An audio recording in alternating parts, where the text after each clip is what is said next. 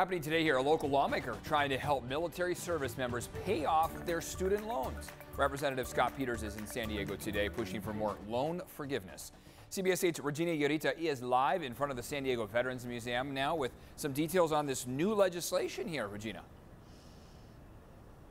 Yeah, good morning. And that briefing actually took place around 10 a.m. here at the Veterans Memorial Garden. And it was really for Congressman Scott Peters to talk about this new legislation that he's pushing, right? One that would help our servicemen and women as well as veterans when it comes to student loan forgiveness. He says oftentimes our military men and women are forgotten. They're, they haven't really gotten much guidance when it comes to student loan forgiveness and whether they qualify or not to this program, which is a public service loan forgiveness. So here's a little bit about what Congressman Peters said during that briefing. Not be that hard. The federal government already knows who owes student loans and who is su- served or who is serving and how many payments they've made. If the Department of Defense and the Department of Education shared this data with each other, service members would automatically receive the benefits owed to them. And so this morning, Congressman Scott Peters introduced the Ensuring Military Access to Higher Education Benefits Act of 2024 to support military connected students.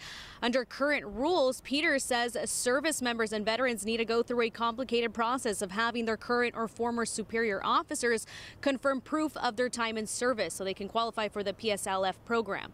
The congressman says it's difficult for veterans who are no longer in touch with their former officers. In some cases, their former officers have also left the service, leaving them with little to no access to the benefits they earned.